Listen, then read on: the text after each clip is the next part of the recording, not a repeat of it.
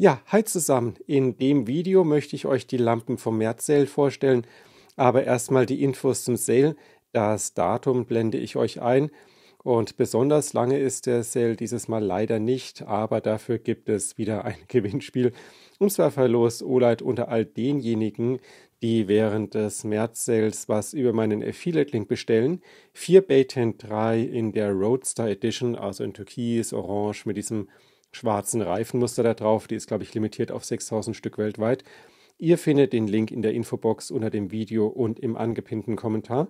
Und mit dem Gutscheincode FRED20 gibt es während des Sales 20% Rabatt auf die nicht reduzierten Sachen. Und ich denke, wenn man noch was mitbestellen möchte, dann dürfte das ganz interessant sein. Und es gibt auch noch eine kostenlose Goba für jeden, der sich einloggt. Dann mal gleich zu den Lampen und anfangen möchte ich mit der Baten 3 Pro Roadster. Da gab es ja schon die Nicht-Pro-Version in dem gleichen Finish und ich finde das ziemlich cool. Wobei es natürlich auch Geschmackssache ist, gerade mit diesem Türkis, Orange und dann dieses Reifenmuster hier. Also das muss man schon mögen. Aber ich finde die Lampe nicht nur vom Design her ganz cool, sondern auch von den technischen Daten. Man hat hier 1500 Lumen im Turbo-Modus, was schon wirklich ordentlich hell ist. Und trotzdem ist die Lampe noch angenehm kompakt. Also man kann die problemlos in der Hosentasche noch mitnehmen, in der Jackentasche sowieso. Und auch im EDC-Organizer nimmt sie nicht so wahnsinnig viel Platz weg. Mal noch zum Vergleich, äh, die Baten 3, also die Pro ist vielleicht, äh, naja, nicht ganz doppelt so groß, aber schon so grob würde ich mal sagen, wenn man das ein bisschen ähm, rundet vielleicht und vielleicht so zwei Millimeter breiter. Aber ich würde mal sagen, man kann die problemlos noch in der Hosentasche mitnehmen. Also ich hätte da keine Probleme oder habe da keine Probleme. Und ich weiß, dass andere Leute auch solche Lampen dieser Größenklasse mitnehmen. Von daher ist es durchaus auch noch machbar. Und durch den 18650er Akku hat man auch eine ordentliche Akkulaufzeit.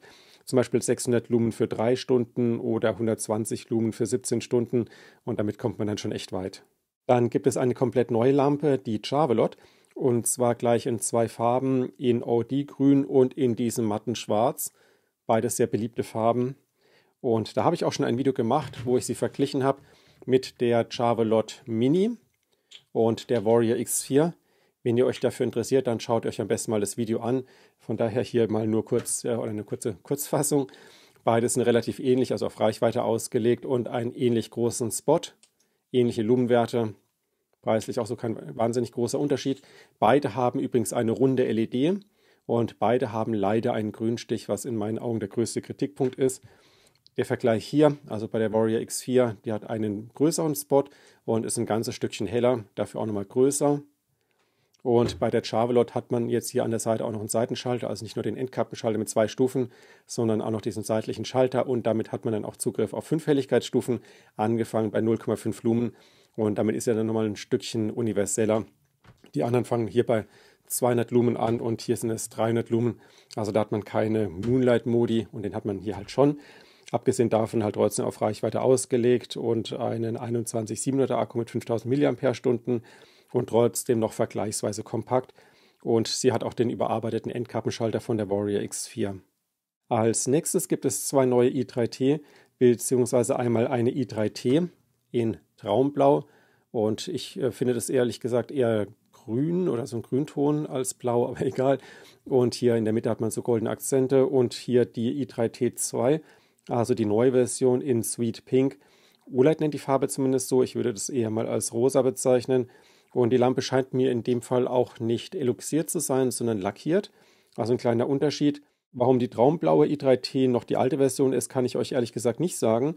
Vielleicht gab es ja noch Restbestände, ich weiß es ehrlich gesagt nicht. Die Unterschiede halten sich aber auch ein bisschen in Grenzen. Also hier hat man 180 Lumen im hohen Modus, hier sind es 20 Lumen mehr, also 200 Lumen. Dann ist der Clip ein bisschen anders befestigt. Hier konnte der noch außen drehen und die Lampe ein bisschen verkratzen. Hier ist der unter dem ähm, Endkappenschalter, also der ist ja so reingeschraubt, da kann er die Lampe nicht verkratzen. Finde ich eigentlich ganz cool. Und man kann jetzt bei der Lampe auch einen 10440 Akku verwenden und damit kommt sie dann auf 300 Lumen. Aber ehrlich gesagt, ob er die jetzt 200 oder 300 Lumen hat, das ist mir gar nicht mehr so wahnsinnig wichtig. Ähm, ansonsten muss ich, glaube ich, gar nicht mehr so viel zu der i3T sagen. Die gibt es ja schon eine ganze Weile. Ich persönlich mag sie deutlich lieber als die i5T, weil sie nun mal kompakter ist. Also die ist wirklich so schmal, die kann man jeden Tag mitnehmen und merkt gar nicht, dass man sie dabei hat. Da mag ich die echt gerne. Und wenn ich dann mal mehr Leistung brauche, dann greife ich in der Regel eh zu der i3, äh, Baton 3 so rum. Also das sind so die beiden Lampenklassen, die ich ganz gerne mitnehme. Bisschen mehr Leistung, Tailstand-fähig, magnetische Endkappe und wenn sie ultra kompakt sein soll, halt so eine i3T. Ähm, und für ähm, so kleine Aufgaben wie den Weg vor sich auszuleuchten, der reicht die auch wirklich locker aus. Und die läuft mit einer AAA-Batterie und da hat man dann im Notfall ähm, auch Batterien irgendwo im Haushalt, meinetwegen in einer Fernbedienung, in einem Wecker oder sonst wo, äh, da kann man dann die Batterien verwenden. Habe ich ehrlich gesagt noch nie gemusst, aber das Gefühl, das machen zu können, ist irgendwie auch ganz nett. Von daher sind diese Doppel-A oder Triple-A-Lampen immer ganz beliebt. Neben der i3T in Traumblau gibt es auch noch die Warrior 3S in Traumblau. Und es sieht halt echt schick aus. Also ich würde es halt echt nicht als blau bezeichnen, eher so ein äh, grün-blauton, wie auch immer, mit goldenen Akzenten. Und das sieht halt schon echt stark aus. Also gefällt mir echt ganz gerne. Die Lampe an sich ist nicht neu, halt diese Farbe. Und ähm, im Gegensatz zu der i3T ist es ganz offensichtlich eine deutlich größere Lampe. Ich kann mir auch ganz gut vorstellen, dass man das als Kombination hat. Die hier als EDC-Lampe und die hier als Arbeitslampe, die man dann halt nur verwendet, wenn man sie braucht, meinetwegen daheim. Oder wenn man eine Nachtwanderung macht oder Zelten ist oder so, nimmt man halt die mit und im Alltag die hier. Also das gibt wirklich eine tolle Kombination ab. Wobei es mit Sicherheit auch Leute gibt, die so eine Lampe in so einer 21-700er Größenklasse jeden Tag mitnehmen. Soll es ja auch geben. Ähm, man kann die auch wunderbar ins Auto legen, dann hat man da wirklich eine sehr starke Lampe im Notfall. Und ähm, genau genommen schafft sie im Turbomodus 2300 Lumen, also wirklich einen hohen Wert, Lumenwert, regelt auch runter, also hat einen Annäherungssensor sodass man sich da kein Loch irgendwie in die Jackentasche, Hosentasche, sonst was schmort, wenn die aus Versehen angeht. Ansonsten hat man halt hier einen Endkappenschalter und hier einen Seitenschalter. Man hat LEDs, die über den Akkuzustand und den Helligkeitsmodus informieren. Man kann sie umschalten in einen taktischen Modus. Dazu drückt man hier den Endkappenschalter und dann den Seitenschalter und dann hat man direkt Zugriff auf Strobe und den Turbomodus. Also die kann einiges, sieht auch wirklich richtig schick aus in diesem gold-grün-blau Farbton. Also ich mag die Lampe auch echt gerne. Ähm, gerade wenn man so irgendwie eine Nachtwanderung oder sowas macht oder campen ist, selten ist, dann kann man die wirklich angenehm mehr mitnehmen und ähm, wenn man die in der Hand hält, dann passt das für mich auch von der Größe. Dafür hat man halt diese hohen Lumenwerte, lange Akkulaufzeiten, ein schickes Design. Also die Lampe mag ich echt äh, ganz gerne. Und ähm, was auch noch mitgeliefert wird, ist so ein Holster. Sehr hochwertiges Holster. Druckverschluss, man hat hier unten eine Öffnung, da sieht man dann, wenn die Lampe an ist, leuchtet dann durch. Innen drin gepolstert mit so einem Mikrofasermaterial. Hinten Druckknopf, kann sie aber auch durchfädeln. D-Ring, also ein gut durchdachtes Holster. Hier oben auch eine Öffnung. Also wenn man die andersrum reintut, sieht man auch, wenn sie an ist. Leuchtet also da oben auch durch. Also wenn man die richtig rum reinpackt, so rum, dann wird man es sehen, wenn die an wäre. Also hier leuchtet dann durch. Das sind so kleine Details, die einfach durchdacht sind und ähm, die mir dann einfach auch Spaß machen. Die kann man auch problemlos damit in den Rucksack mitnehmen. Also ich würde mir so eine Lampe nicht am Gürtel machen. Das ist ein bisschen eher was für Leute, die die im taktischen Bereich verwenden.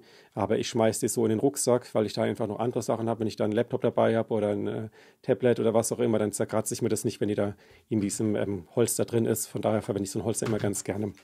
Dann gibt es noch die Diffus in OD-Grün und das dürfte einige freuen. So Doppel-A-Lampen sind immer sehr beliebt, auch wenn ich persönlich eher so eine Triple-A-Lampe bevorzuge. Die ist einfach nochmal ein ganzes Stückchen schmaler und da merkt man gar nicht, dass man sie dabei hat. Das finde ich ganz cool.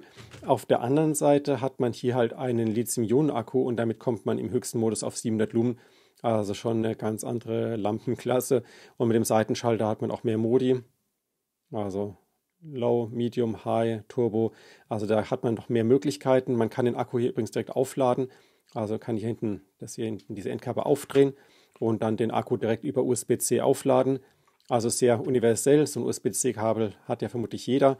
Die Lampe ist auch Tailstand-fähig. Das ist mein größter Kritikpunkt an der i3T und der i5T, dass man die einfach nicht hinstellen kann. Das geht nicht und das mache ich einfach ganz gerne. Von daher greife ich auch immer ganz gerne zu der Baton 3. Auf der anderen Seite, die ist vielleicht ein bisschen kürzer, aber dafür ist ein bisschen breiter hat halt alles seine Vor- und Nachteile. Muss jeder wissen, was er möchte. Ja, das soll es noch schon wieder gewesen sein. Wenn ihr Fragen habt, könnt ihr gerne einen Kommentar hinterlassen. Und wenn ihr was bestellt, würde ich mich freuen, wenn ihr über meinen Affiliate-Link gehen würdet. Dann nehmt ihr auch automatisch an der Verlosung von den 4 Baten 3 Pro teil. Und falls ihr bei dem Sale was nicht reduziertes bestellt, dann denkt an meinen 20% Rabattcode. Macht's gut und bis zum nächsten Mal.